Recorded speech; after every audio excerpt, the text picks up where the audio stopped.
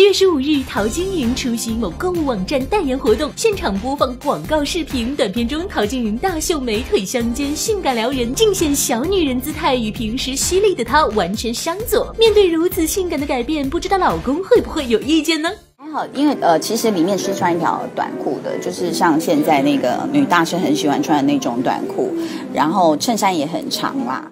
我想我自己职场上的这些道德我是会遵守的，因为不要说我老公知不知错，我真的怕吓到小朋友。我想